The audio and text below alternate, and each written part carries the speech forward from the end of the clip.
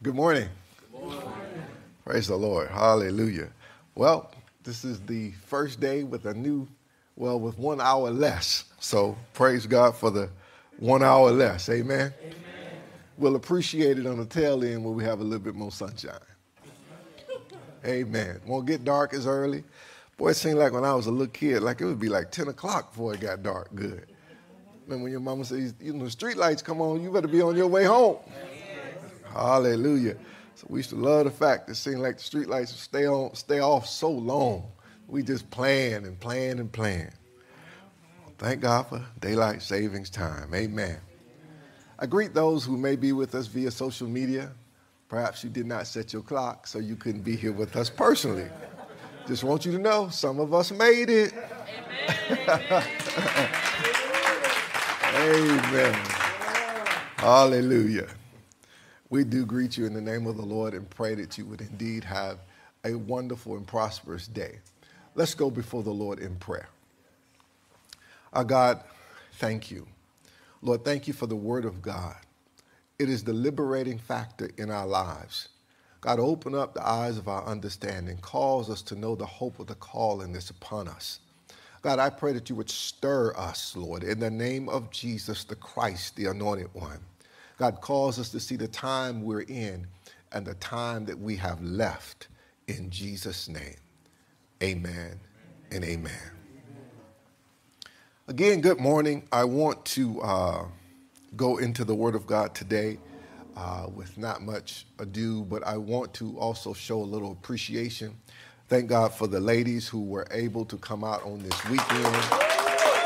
Amen. I stuck my head in on Friday night, and it was it was a wonderful thing to see. So I, I, praise God for you all and the celebration that God allowed you all to have. Thank God for the brothers who were uh, of great assistance. Amen. Men who inconvenienced their schedules to be a blessing. So thank you for your assistance in the matter. We are indeed uh, proud of the fact that God can use us as people to minister to other people. That's important. You know, sometimes people are, it's easy to want to be ministered to, but it's another thing to allow God to use you to minister to other people. So thank you for your availability and your usability. So now let's go into the Word of God. Amen? Amen. I want to speak to you from the subject, well, let me give you a scripture first. How about that? Go with me to Psalms 145 and 15. And then I'll tell you my subject. Psalms 145 and verse 15. The Bible says, The eyes of all wait upon thee, and thou givest them their meat in due season. So the eyes of everybody and everything is waiting on God because he's the one who give what we need in our due season. Today, I want to talk to you from the topic making preparation for the due season. Making preparation for the due season. Now, I know when I say due season, people have certain ideas of what that means. I think by the time we'll finish, you'll be very clear on where, what I mean in reference to due season from a biblical standpoint here today. So the eyes of all wait upon thee, and thou givest them their meat in due season. Due season, what does it mean? I know we've heard several different things in the course of time, and oftentimes when we hear due season, we think about us personally. It's my due season. Can't wait till my due season comes. And we think of it in a personal uh, respect, and nothing wrong with that. That's not inappropriate. But there is a way to also understand due season. So let me give you, according to Psalms 145, what the author is saying in due season there. Due season means a fit or proper time. So it could be you waiting for your fit or proper time. Due season also means opportunity. So it could mean you in your opportunity. You're awaiting your opportunity. You're awaiting your fit or proper time. Nothing wrong with that. So, since we're talking about making preparation for the due season, how do we prepare for the due season? We okay? I, I, know it's going. I, I need to work a little harder today because I understand you lost an hour. I get it. I get it. I get it. I get it. It's okay. It's okay. I'm with you. I'm with you. I totally understand. Thank you. I totally understand. Number one, since we're going to prepare for our due season, you and I must learn to wait on the Lord. If it's a set or a proper time, it's, if it's an opportunity, we can't rush it. We can't make it happen. I know we like to hear that we're going to make it happen, but you really know you're not making it happen. Let, let me say that again. You really do know you're not making it happen. Yeah, y'all gonna make me work today. Oh my goodness. Did you get any sleep? Hallelujah. Oh my goodness. Well, that's okay. Uh, thank you, Dr. Hall. I thank you. I, I need just a little support go a long way today. Hallelujah. Amen. So you and I must learn to wait on the Lord. Go with me to Psalms chapter 27. See, I want to talk about really being prepared for this. I want to be ready for this. And I believe you're going to see what I'm saying as we move forward. Psalms 27 and verse 13. Psalms 27 and verse 13. The psalmist tells us, he says, I had fainted unless I had believed to see the goodness of the Lord in the land of the living. So wait a minute. I had fainted. I'd have been out of here. Unless I had believed to see the goodness of the Lord in the land of the living. So we have to believe that we will see the goodness of the Lord here. See, there's a misconception that the goodness of the Lord is for when we get in glory.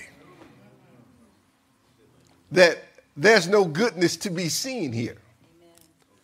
Remember, I, I, am not now. I'm, remember, I'm talking about a due season. If we're not careful, we start doing. Okay, let, let me show you something. Since, since, since I got a little time for y'all to wake up here, you know, social media is an interesting platform because social media, for the most part, deals with a world that's not real. It's a fantasy world. Uh, you don't see social media don't show you necessarily. Well, let me let me put it like this: we project on social media.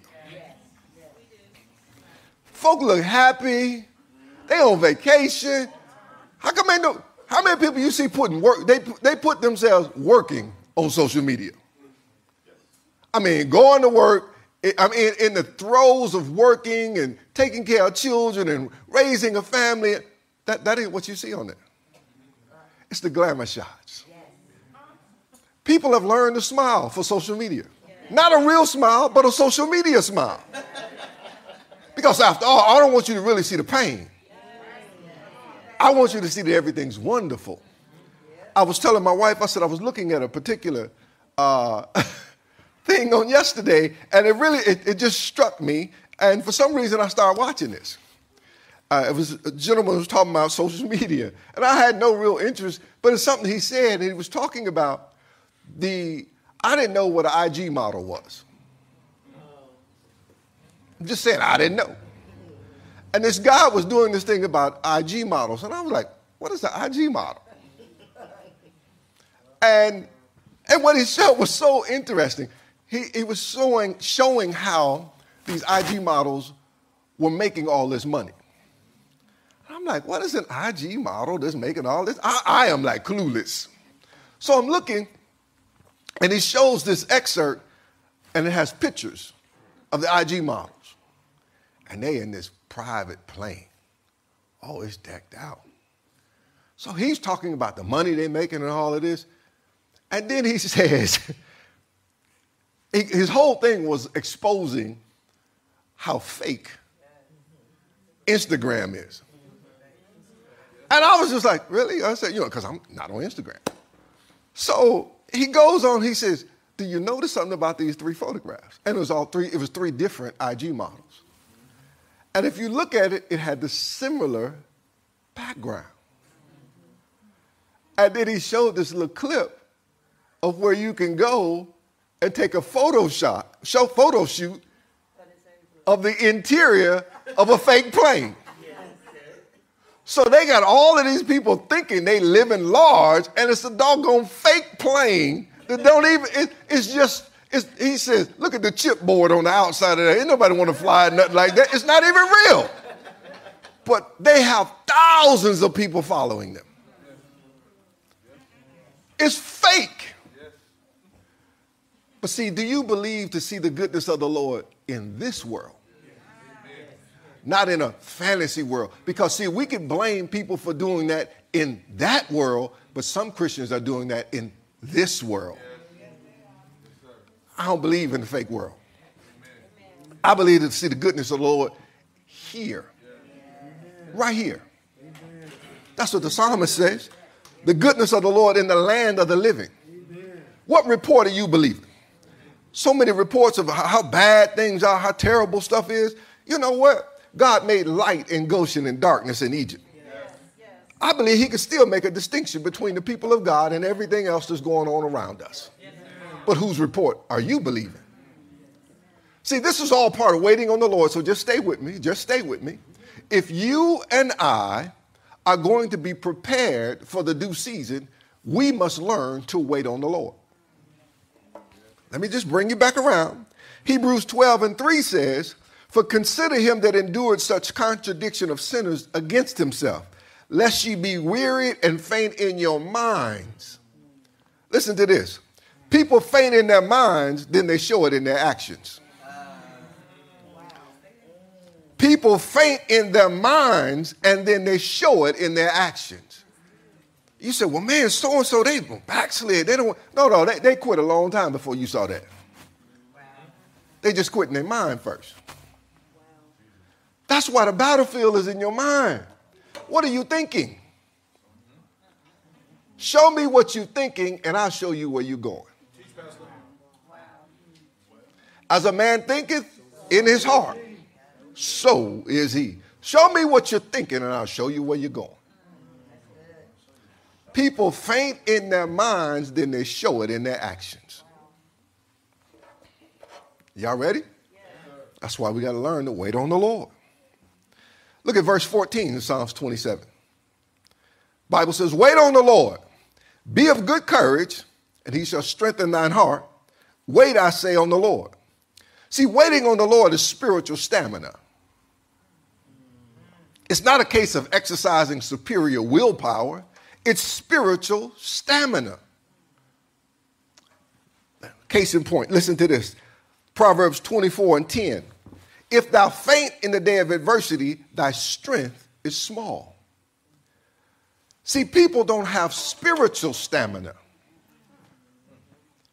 See, it's one thing. Can you imagine if we all get out here and we're going to run 10 miles? We're going to find out how much stamina we really have. Waiting on the Lord is going to determine how much spiritual stamina you really have. What kind of spiritual conditioning are you in? Have you developed your ability to wait? I don't like waiting on nothing, Pastor. Well, okay. Then your strength is small. And you're subject to fainting during adversity. We have been taught that waiting is like the doctor's office. You ever realize why do we have a one o'clock appointment and then you don't see me to 1.30? At least. Why don't you just say come in at uh, 1.30 and I'll be there? I, you, you know, just just being honest, because I feel like sometimes I'm like, I might as well be late because y'all ain't gonna be on time anyway. So you go like, okay, and, and then they have a nerve to give you a waiting room. This is the room you wait for your appointment. I thought if you made an appointment, is it just me or am I the only? See, so we learned to hate waiting because we think when God says wait on Him, that that means the same thing. No, let me show you something. Remember when you were in college, freshman year? You started that first, I mean, here, the first session. You walked into class, but you know what was on your mind? Graduation. No, remember, see, you you never, okay, wait a minute. You never went to college thinking you was gonna be there forever. On your mind was graduation. But you had to take classes, you had to study, you had, I mean, so many things you had to do personally. But do you know you were waiting on graduation all of that time? Because we think waiting means doing nothing. Actually, waiting means preparing. That's why God has us waiting, but it's because we're doing things while we're waiting. There are tests that are coming in your life, the classes that you're taking in your life, there are things that you're going through, but it's all in preparation for graduation. You're waiting all of that time.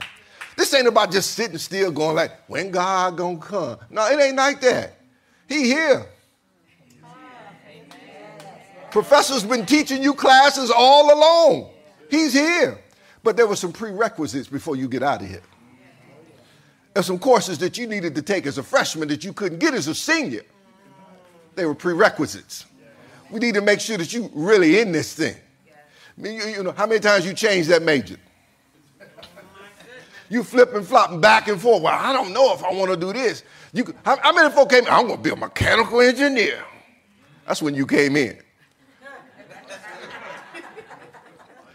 You take that, they, they slap that big calculus book in front of you and you say, whoa, maybe I can reconsider. See, do how bad do you want it while you're waiting? How bad? See, because there are prerequisites that you're going to have to take before you get that due season. Before you fall up into that last course. Isn't it amazing that the courses in the beginning, do you ever, I don't know if you even realize this, are harder than they are in the end. They said, well, it's because it's in my major. No, it's not just that. Because, you know, if you look, you go like, why didn't you just get this to me in, in, in the beginning? I have to take all that other stuff. Why don't you just give me what I wanted? Because you had to qualify first. Do you really want this? So now you're going to have to go through those prerequisites so you can graduate. Oh, come on, come on. Sometimes I'm waiting. We got we got to learn how to wait. People don't like. You say the word wait, they just ah ah start turning up their face and everything because we don't like waiting. But waiting on God don't mean that you just sitting still doing nothing. It ain't that you just sitting in your house waiting on the rapture to come. Waiting actually has you engaged in developing spiritual stamina, the ability to wait on God in the midst of things. I'm going to show you why in a minute. Just, just, just, I just want to make sure you understand what I'm saying. In Proverbs, like I said in Proverbs 24 and 10, it said, if you faint in the day of adversity, your strength is small. Because, see, it's the Lord, He's the one who strengthens our heart while we're waiting so we don't give up. Amen.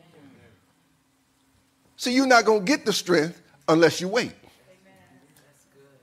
That's, That's what gives you the strength. You know an amazing thing? You don't get stronger unless you add some weight. I need the resistance of the weight to get stronger.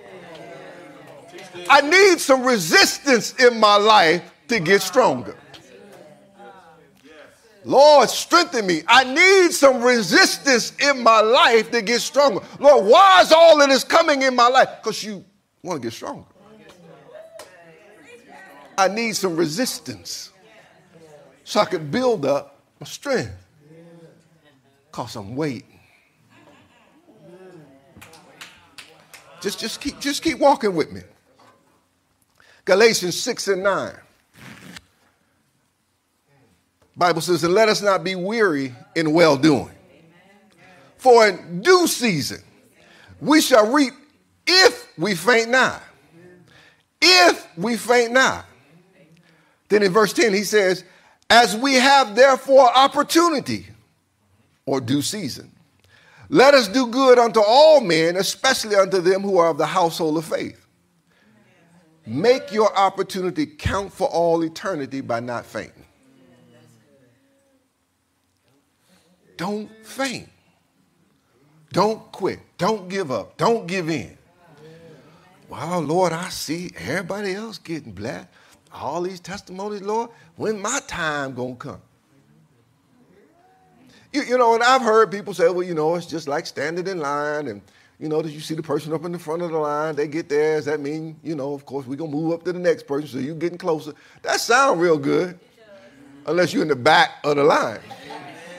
If you're in the very back, it just make you go like, how long is it going to finally be when it get? See, that, that to me, that's really not the way it is with God. When you get blessed, I get blessed. Let me tell you why. Wait, wait, wait, wait, wait, wait, wait, wait. See, see, this, this is what people don't understand. In the line analogy, it's individual. In the kingdom, it's corporate. I'm connected to you. You connected to me. That's why we should be able to rejoice for one another because we connected. That's why I ain't mad at you and hating on you because you got this and you got that. Praise the Lord. God is good. I'm celebrating with you. I ain't just going like, yeah, I'm gonna celebrate with you till my stuff. No, it ain't like that. It ain't like that. See, that moves you to another realm when you start, oh, well, we, we connect. We all in this together. Now I'm like, okay, the blessings of the Lord are on us. It ain't just because, see, we got to get away from that because if you're not careful, all you want is yours you really don't care that somebody else got theirs. But how can I be connected to you, know what you've been going through, and then see God deliver you from it and not rejoice with you?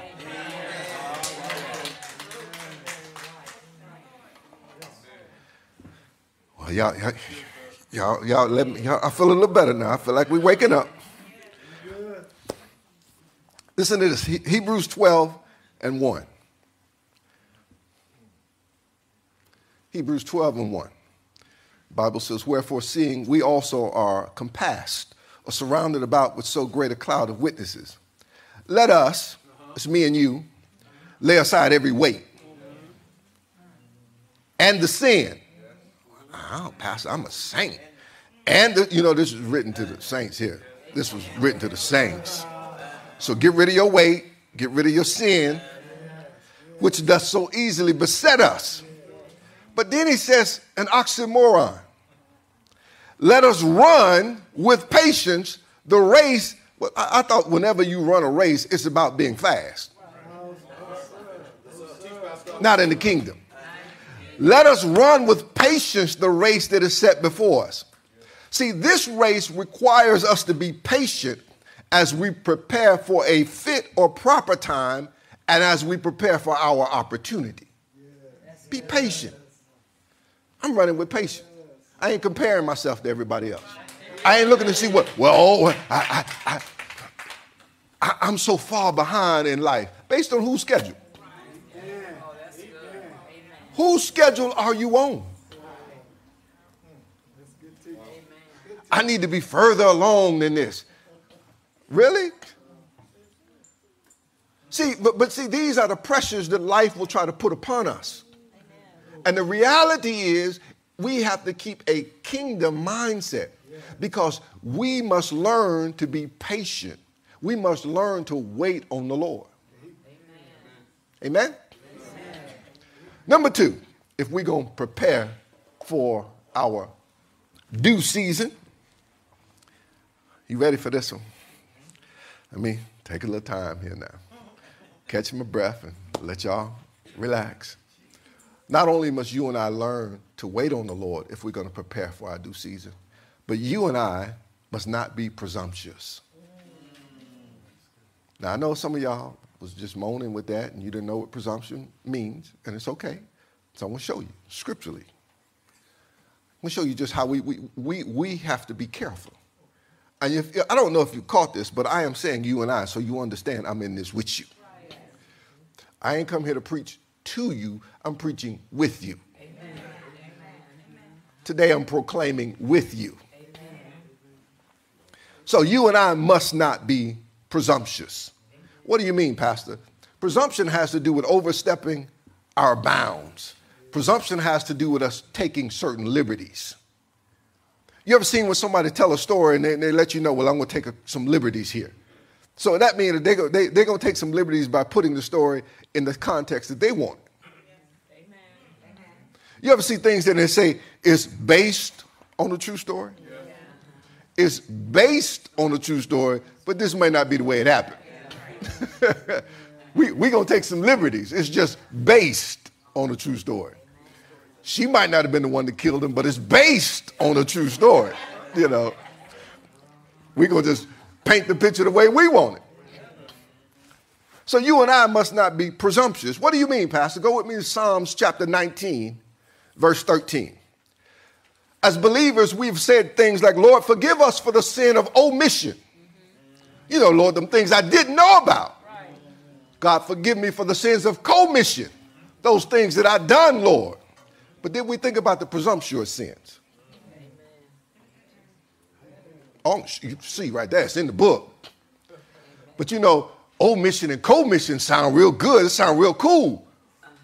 But presumption don't necessarily sound like that. The, the, the, um, the man of God or the, uh, the, the psalmist says, keep back that servant also from presumptuous sins. Let them not have dominion over me, then shall I be upright, and I shall be innocent from the great transgression. So, presumptuous sins is a great transgression. But why don't we talk about that? Why would you not talk about a great transgression?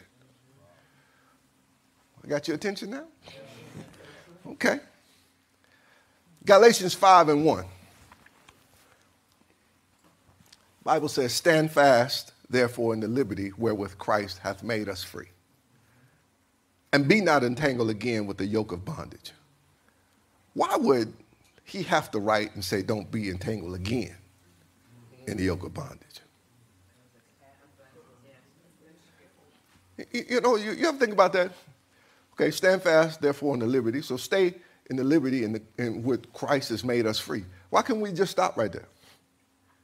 He had to come back and say, and, conjunction, hooking some things together here, and be not entangled again with the yoke of bondage. Let me give you something, and then we're going to explain where I'm going with presumption from the scriptures. Because God has set us free it's not a reason to assume we can handle things on our own now. I'm going to say it again. Stand fast, therefore, in the liberty wherewith Christ hath made us free.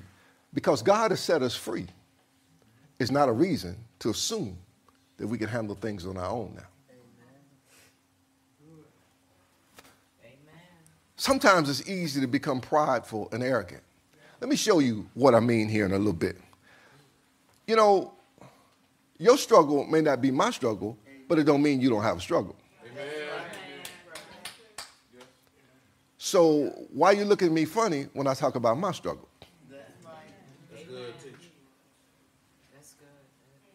See, sometimes we can act like I'm delivered from everything. You are delivered from some things. But you do know you have a struggle. It's just the one that you don't want nobody to know about. I don't care how close they are. You don't want them to know. Can't nobody keep secrets like God. Because he got all hours. he got all hours. The you that you don't really like, he know about that. The you that you don't show nobody, he know about that. He still love you. Go with me to Joshua chapter 3. Let's, let's find out what is this presumption? How does this work? We need, to, we need to keep ourselves from presumption, you and I, if we're going to prepare ourselves for this due season. Joshua chapter 3, you are aware of, in the story that Joshua is the one that God has uh, anointed and established. Moses is now dead. Um, when you look at, there were only five people that actually made it um, out of Israel from the original crew. All of the other ones died off in the wilderness. Then there was Miriam, she died off. Aaron, he died off. Moses died off. So there's only Joshua and Caleb left. Just a little quick history. So Joshua is the one that God chose to bring the children of Israel into the promised land. So they're preparing to come into the promised land. However, there's a barrier between them and what God promised. We know the barrier as the Jordan.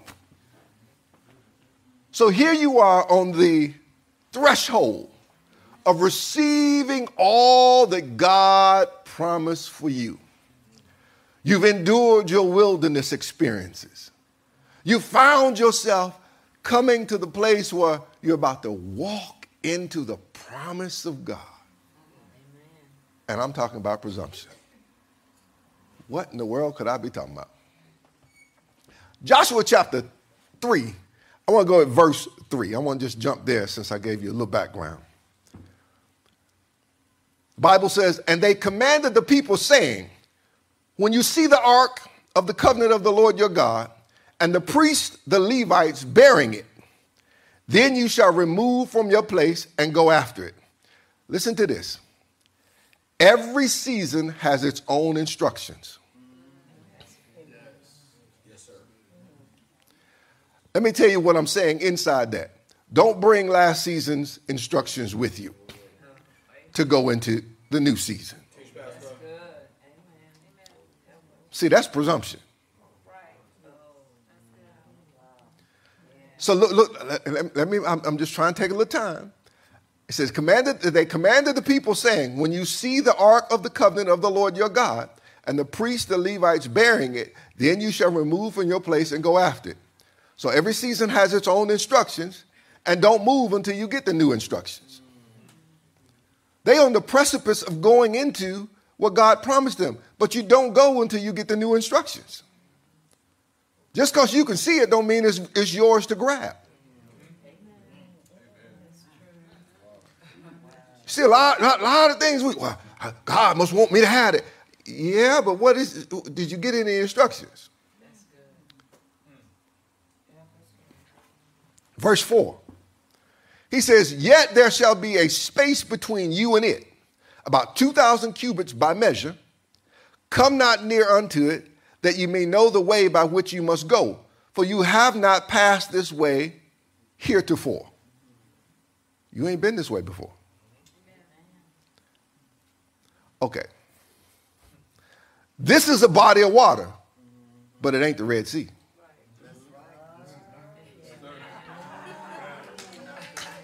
Are you feeling me now?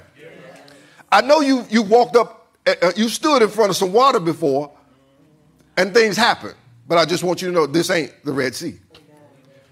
I know you've been delivered out of some things before and you're standing in front of what God's promised to you, but I know last time you went across on dry land at the Red Sea, but this ain't the Red Sea. Verse 13 of Joshua 3 says, And it shall come to pass, as soon as the soles of the feet of the priests that bear the ark of the Lord, the Lord of all the earth shall rest in the waters of Jordan, that the waters of Jordan shall be cut off from the waters that come down from above, and they shall stand upon a heap. What are you saying, Pastor? This ain't the Red Sea. This time somebody got to get their feet wet. Yeah, yeah. Last time you walked across on dry ground. This time, somebody got to get their feet wet. So you can't assume that because God did it that way last time, and it looked the same to you this time, that God gonna do it the same way. That's the sin of presumption. You became presumptuous. You thought you had it now. You thought you knew what to do. You thought you didn't need any new instructions. After all, it looked the same to me. It's just a body of water.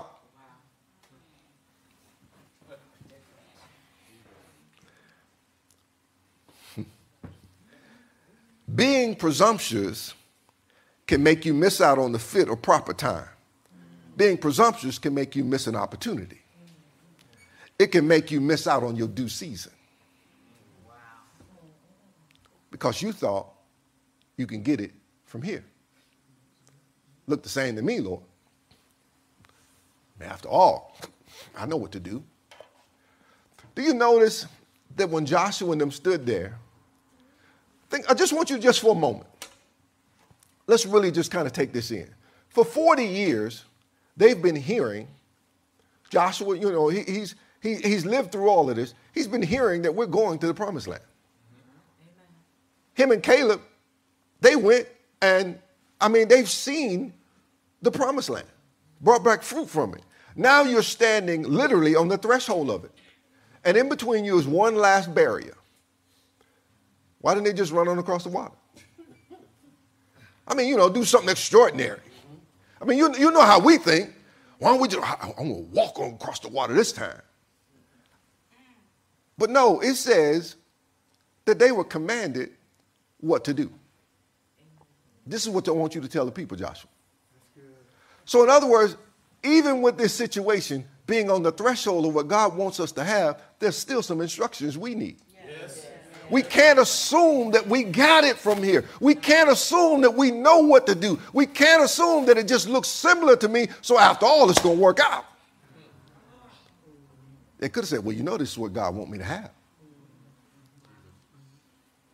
He said, No, this time I literally want the priest to step in the water. And I'm going to do something you ain't even seen. You're going to step in the water here, and the water going to cut off up there.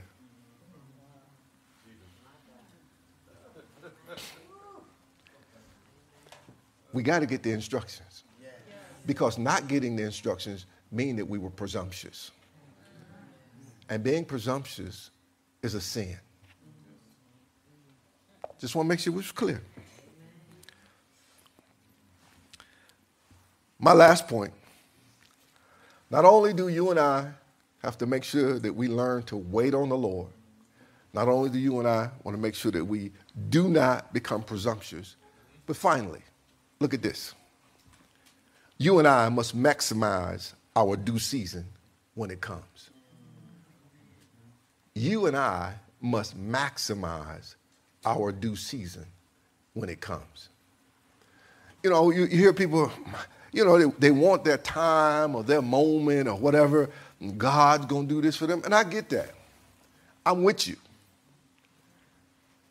But if you're going to prepare for that due season, you need to, you need to maximize it. You need to make the most of it. And that's why it's important that we learn to follow the distru- instructions. That's why it's important we learn to wait on the Lord. All of those contribute to us maximizing our due season. Go with me to 2 Kings chapter 13, verse 14. Very familiar passage of scripture. We're going to take a little while and look at this because I believe that this is very important. Because I don't want to wait on the Lord. I don't want to rid myself of all the presumptions and then not maximize what He gave me. I want everything from it. I want all of the benefits from it. I, I, I mean, if you're going to go through all of this, why would you forfeit at the end? So I want it all. I, am like Tasha Bet. I want it all back. I ain't meant not, not, every bit of it. So, so, so I, I, mean, I understand some people are, uh, you know, praise the Lord. Mm-hmm. Oh, but I'm trying to maximize my due season. 2 Kings 13 and 14. Familiar passage of. The Bible says now Elisha was fallen sick of his sickness whereof he, he died. So what the text is telling us that Elisha is going to die from the sickness he has. So the text is letting us know the prophet is sick. You have a moment because the prophet is sick. He's not gone yet, but he is transitioning. And Joash, the king of Israel, came down unto him and wept over his face and said, Oh, my father, my father, the chariot of Israel and the horsemen thereof. So the king comes to him and he's lamenting, he's grieving, he's mourning over the prophet because he knows the prophet is transitioning. Oh boy, I'm going to find you here. I'm going to find you here. The king is sorrowful and he's grieving because a patriarch,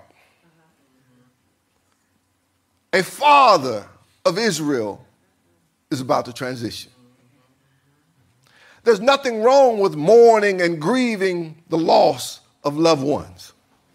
There's nothing wrong with going into the mourning that's necessary when you see a matriarch or a patriarch leave off the scene. There's nothing wrong with that.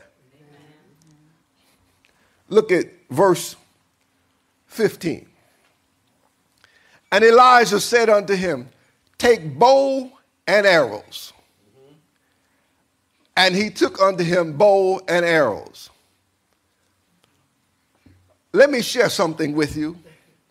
And I know I even sense now that there's someone that's watching me via social media and they're dealing with loss. They're dealing with the loss of someone very dear to them. And I want to say this to you the matriarchs and the patriarchs in our life were preparing us for the work we must do in our due season. They were preparing you for what is to come. Nothing wrong with mourning their loss, nothing wrong with uh, grieving over their transition, but I want you to know that they were preparing you for the due season. They were preparing you for what's coming. They were preparing you because they knew the torch had to be passed. So, what are you saying, Pastor? Don't let the grieving and the mourning distract you from the work. You can mourn and you can grieve. God has no problem with that. But know that there's a work for you to do. They didn't pass the torch for nothing. They didn't share with you what they shared with you for nothing. They didn't teach you what they taught you for nothing. There's a reason because of the work that you're called to do in your due season. Don't be distracted by the grieving in the morning. It has its place. By all means, grieve. By all means, mourn. But you do know that there's work for you to do. Verse 16. And he said to the king of Israel, Put thine hand upon the bow. And he put his hand upon it. And Elisha put his hands upon the king's hands. Oh my goodness. Listen to this. There are some things that God is doing in this season that will require you and I to put our hands on it before we know what it means. I said again. There are some things that God is requiring of you and I to put our hands on before we know what it means. What, what are you saying, Pastor? When you see hands in the scriptures, it often means control.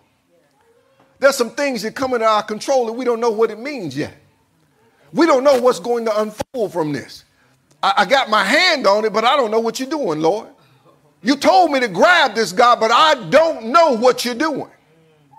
This is the season you're going to put your hands on some things. And you're not necessarily going to know what it means yet. Are you with me? Look what the text says again. And he said to the king of Israel, Put your hand on the bow. I'm a king. What am I doing with a bow and arrow? What, what? I, I, I sit on the throne.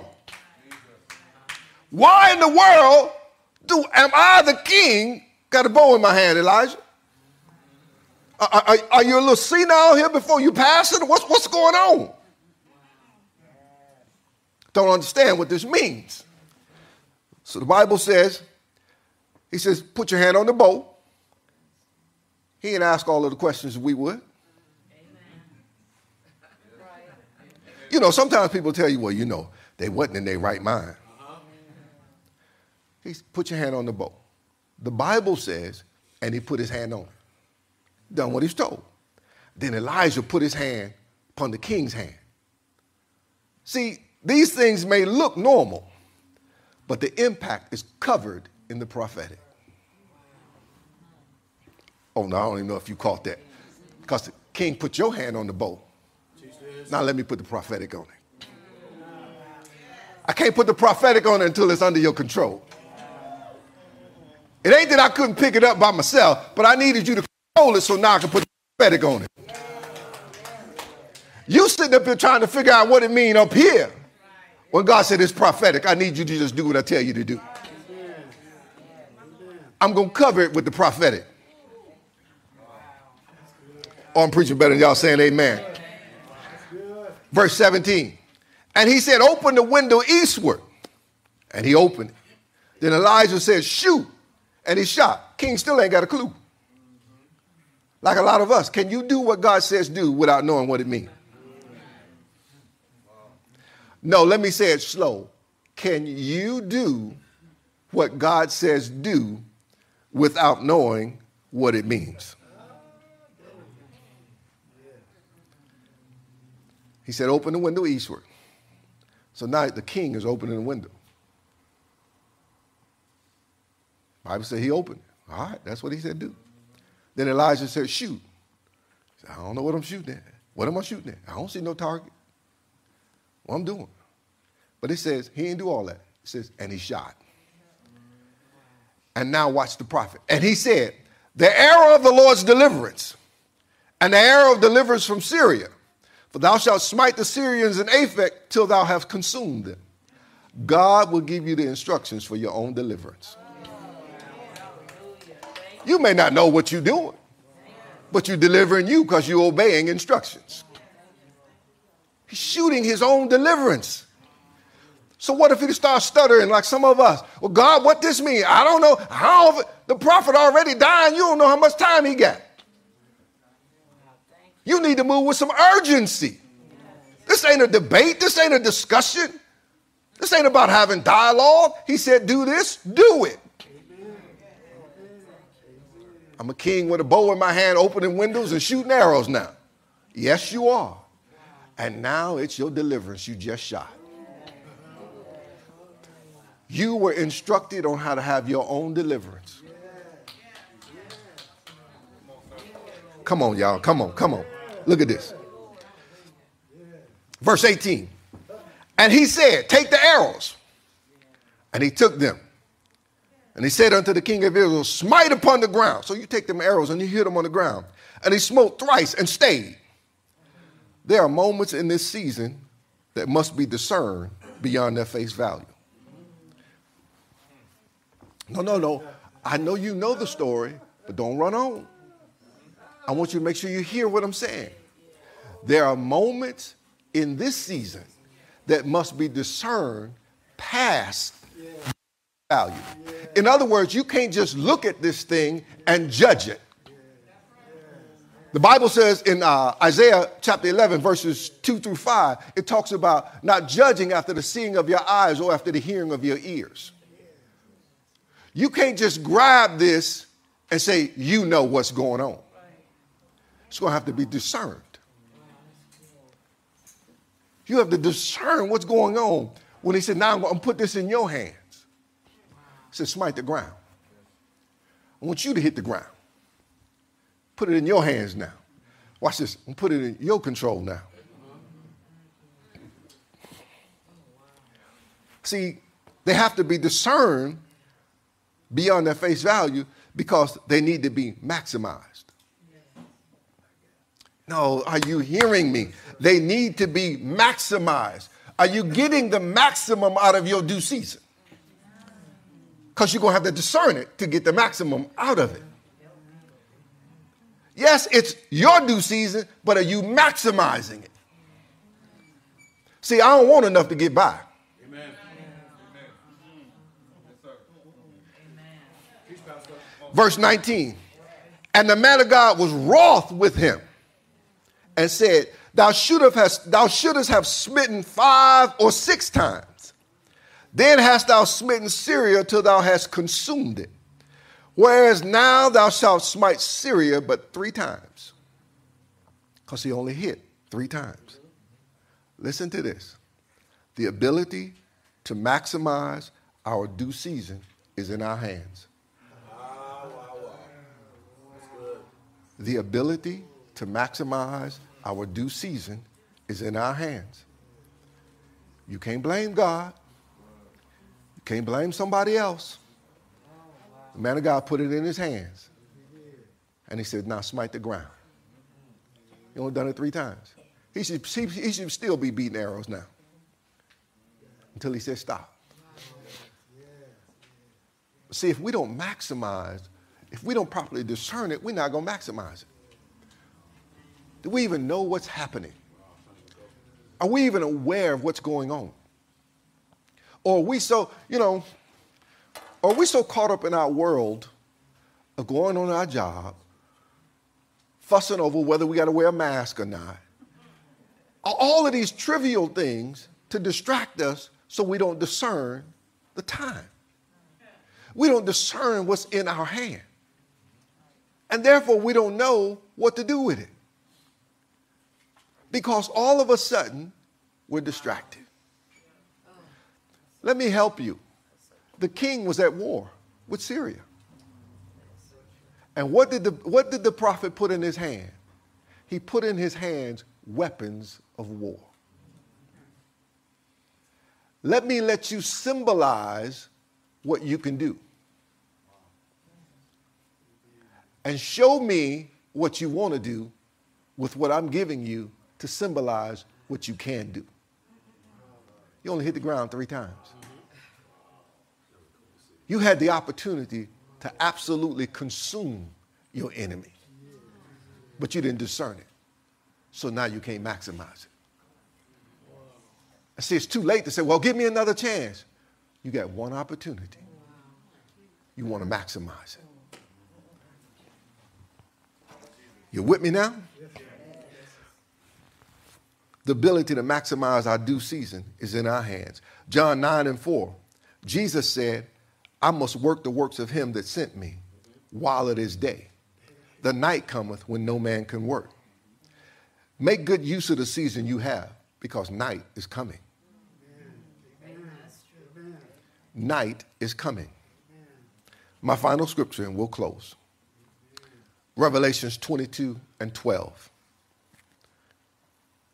Jesus says, And behold, I come quickly, and my reward is with me to give every man according as his work shall be. You determine your own, your own reward. It's according to the work you do. Nobody else is determining your reward with Jesus.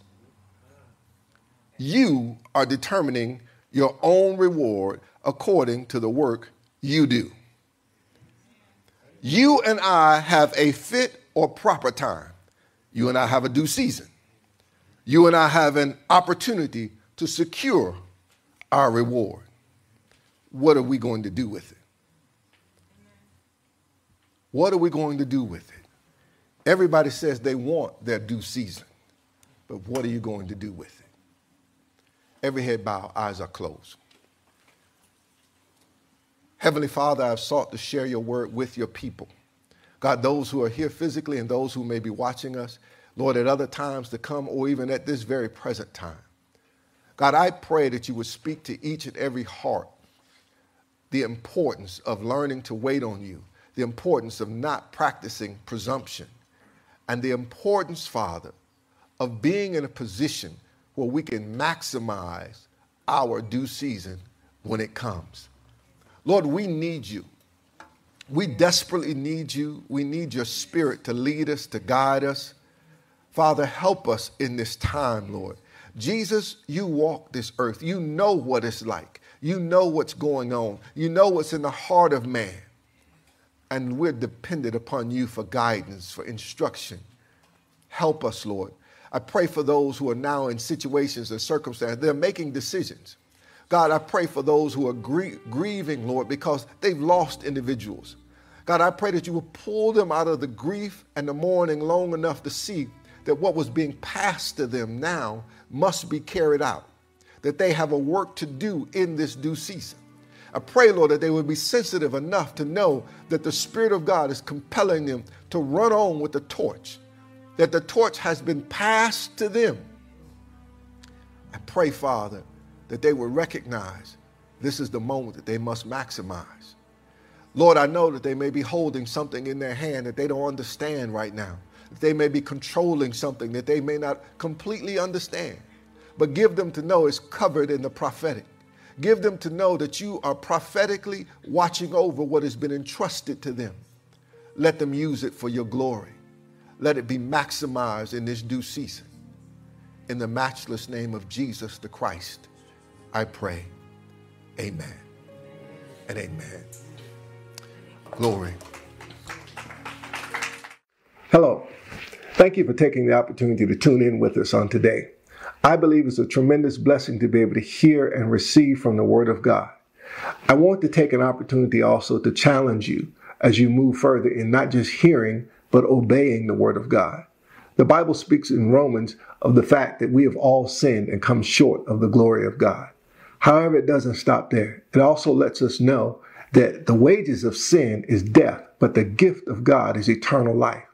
And then it leads us further to let us know that if we confess with our mouth the Lord Jesus and believe in our heart that God raised him from the dead, we shall be saved. I want to give you an opportunity to meet the Savior today, an opportunity to meet Jesus Christ, the Son of the living God, the one who died for our sins, who was buried, and who was raised again from the dead. Today, you can know him personally. I want you to take this opportunity to pray with me. Let's bow our heads and pray together. Lord Jesus, I am a sinner. Please forgive me of my sins. I know that you are the Son of the living God, and I believe that you gave your life for me. Come into my life. Come into my heart. Be the Lord and Savior of my life. And I thank you now for saving me. Amen and amen. Listen, if you've prayed that prayer, you've just accepted Jesus Christ as your personal Lord and Savior. You are now part of the family of God. Your life has been changed forever. I want to encourage you now to be a part of a Bible believing church, somewhere where you can be fed the Word of God. The Bible says man does not live by bread alone, but by every word that proceedeth out of the mouth of God. It's important that you're hearing from God. It's important that you're growing in God's grace. I want to encourage you, find a place that you can connect with other like minded believers and grow in the things of God. It will make all the difference in your new life as you live as unto the Lord. Also, want to encourage those that may be watching now and maybe you're already saved, maybe you're already part of a, a, a, church, and you're just wanting to find somewhere where you can continue to grow in the things of God and add or supplement your faith. Thank you for taking this opportunity and allowing us to be a part of that supplement. Also, I want to say this. Some of you all may be watching and you say, well, how can I give to that ministry? How can I sow into that ministry? Well, listen, I want to encourage you to take the opportunity. We have an app that you can actually uh, download to your phone, and you can give to this ministry at any time that you want to. Or feel free to go to our website. You can go to our website, and on our website, you will find uh, an opportunity to donate. There's a donate button. Click on that button, and it will further direct you into being able to give into this ministry. Listen, I believe that giving is a gain and not a loss. Jesus says it's more blessed to give than to receive. The Bible lets us know that He increases the fruits of our righteousness when we give. The Bible lets us know that He causes us to increase. He increases the fruits of our righteousness. It's all because God has allowed us to partake in the work that He is doing in the earth. And that is giving. That is giving of His Son unto us. So when we give, we have an opportunity to imitate what God has been doing for us all along.